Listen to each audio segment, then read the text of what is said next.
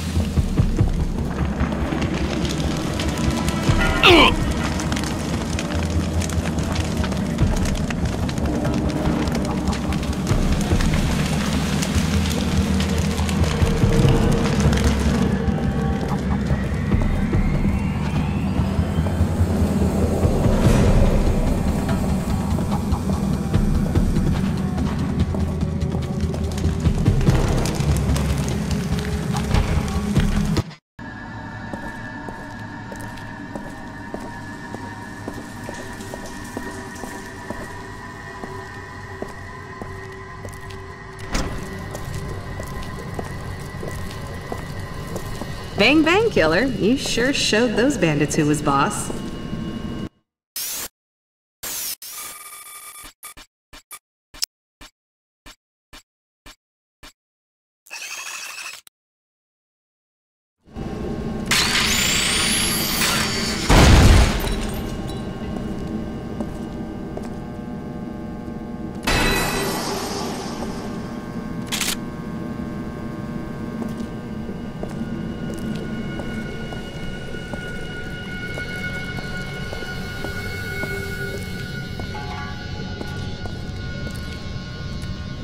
I've got the best deals in town. Remember to check back as my deals change quickly.